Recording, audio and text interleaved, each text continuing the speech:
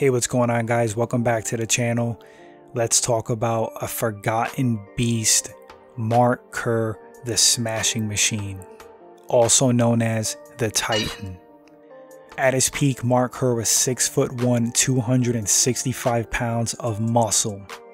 He was an NCAA Division 1 wrestler. His overall MMA record was 15 11 and 1 he got gold at ADC submission grappling three times.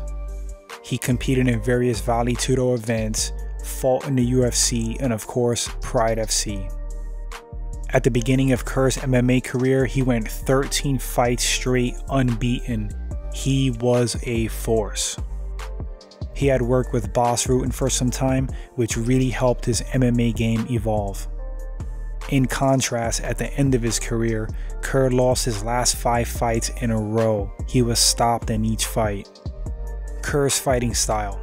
Kerr, being primarily a wrestler, of course, relied on it in his fights. He would take his opponents to the ground and just batter them with vicious ground and pound. He was insanely strong and powerful, just a complete savage in the ring or cage. His striking, however, was unpolished and definitely one of his weak points, but it was improving under the tutelage of Bas Rutten. He had great submission defense and ground control. His cardio was about average for a man of his size. He definitely lost some fights due to lack of cardio. My personal thoughts on Mark Kerr. Kerr is a very sad case to me. He was a physical specimen and had all the tools to be an all time great he could have reached way greater heights than he did in his career. He had a lot of distractions in his life, such as a dysfunctional relationship, or so it seemed in the Smashing Machine documentary, which chronicled his life as a fighter. He also developed an issue with pain pills due to all the injuries he sustained from fighting.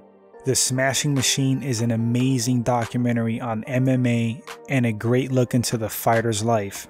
The first time I saw the documentary, I was completely blown away. I highly recommend it. Mark these days, I believe, is doing very well and his life is stable. He fully retired from MMA, and last I saw, he was selling cars, making an honest living. If you've never heard of Mark Kerr, look up some of his fights. He truly was a scary individual and a force of nature at his peak.